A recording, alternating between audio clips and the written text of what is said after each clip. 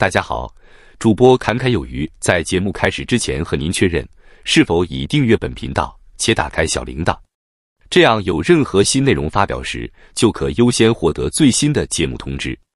为应对激烈的人工智慧竞争，OpenAI 正通过寻求允许员工出售股份留住人才。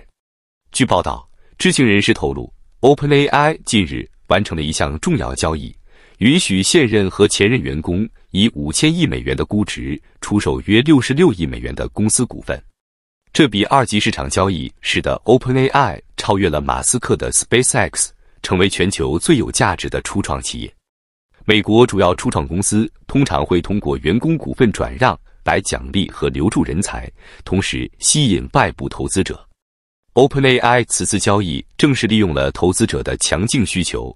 为员工提供了反映公司成长的套现渠道。知情人士指出，实际出售的股份总额低于公司允许出售的逾一百亿美元额度，这表明现任和前任员工对公司长期发展前景充满信心。此前，OpenAI 在软银集团主导的一轮四百亿美元融资中，其估值已达三千亿美元。此次交易中，OpenAI 员工将股份出售给了一批知名投资者。包括 Thrive Capital、软银、Dragoner Investment Group、阿布扎比的 MGX 和 troprice。尽管相关各方代表尚未对此置评，但这一交易无疑在业界引起了广泛关注。目前，OpenAI 正面临日益激烈的人工智慧人才竞争。Meta 平台公司新成立的超级智慧团队正积极从 OpenAI 和其他顶尖实验室挖掘研究人员。并开出高达九位数的薪酬方案。此次二级市场交易不仅为 OpenAI 员工提供了经济上的回报，也有助于鼓励他们留在公司，拒绝那些极具吸引力的高额薪酬。在人工智慧领域的人才争夺战愈发激烈背景下，OpenAI 通过此次股份出售交易，不仅有助于巩固其在行业中的领先地位，也将为留住关键人才提供保障。从而为公司的长期发展奠定基础。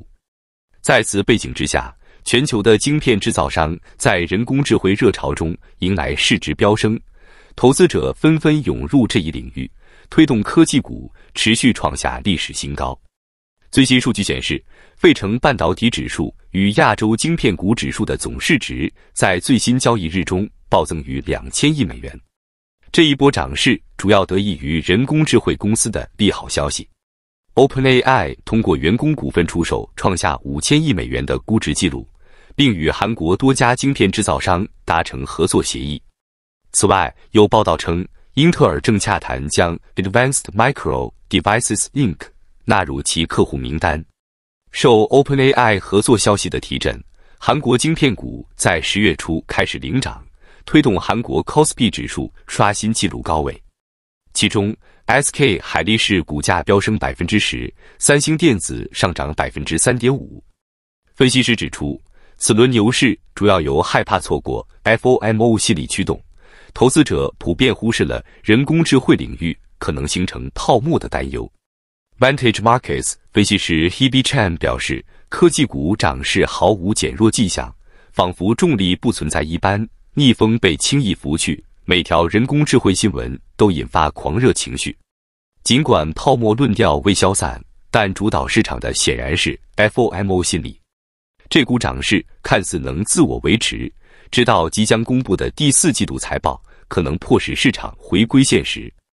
近期股价上涨导致晶片制造商估值大幅攀升，彭博亚洲晶片指数当前交易价格约为预期未来收益的十九倍。而 SOX 指数当前交易价格为收益的二十七倍，逼近两千零二十四年创下的历史高位。技术面上，MACD 金叉序号形成，显示这些股票的涨势强劲。回顾过往，晶片制造商在人工智慧领域的布局早已开始，但近期的一系列合作与利好消息，无疑为市场注入了强心剂。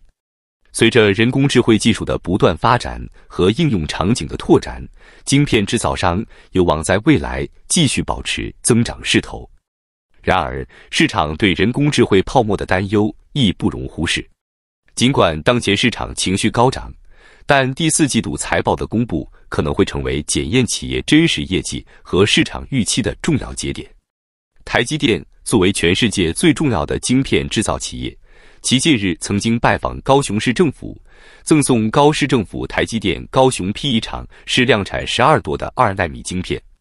高雄市长陈其迈说：“相信以台积电现在 P 一到 P 五厂的二纳米先进制程，全球最先进的制程就落在高雄。”陈其迈表示，当他收到台积电高雄厂的第一片二纳米晶片时，真的是百感交集。因为高师傅团队过去的不眠不休，包括有时候晚上打电话给相关负责人，让其忍受他不断的骚扰。因此，看到第一片量产的晶片，他们真的是非常的感动。陈其迈表示，台积电从到高雄投资设厂到现在的试量产进度，比他们的预期更超前。相信以现在 P 一到 P 五的二纳米的先进制程，高雄将是全球最先进制程的聚落。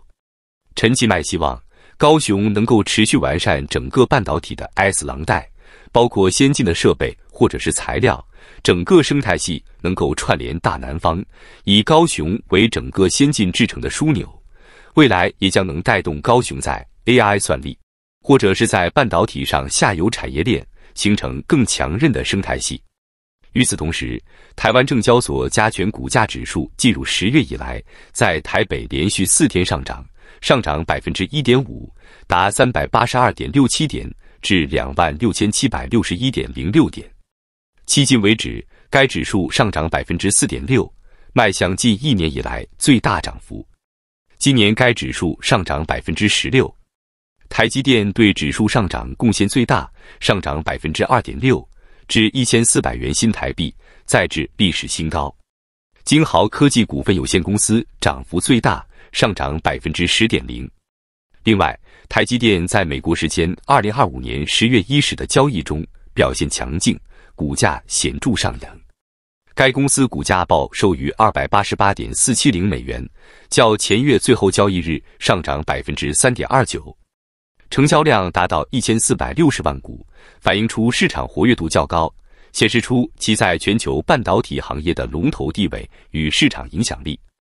摩根士丹利最新研报将台积电的目标价上调至一千五百八十八元新台币，主要基于 AI 半导体需求持续增长及其在先进制程的技术优势。市场普遍认为，此次评级上调将进一步提振投资者信心。尤其是在全球 AI 基础设施投资热潮的背景下，随着 AI 技术的快速发展，台积电在高效能运算晶片的需求激增中展现出强大的市场潜力。该公司在技术创新与产能保障方面的优势，有望为其持续赢得市场份额并巩固行业领导地位。那么本期内容到这里就结束了，感谢你的观看，期盼能与你产生共鸣。侃侃而谈，阔论有余。最后，请你点赞、订阅，这对侃侃有余是极大的鼓励。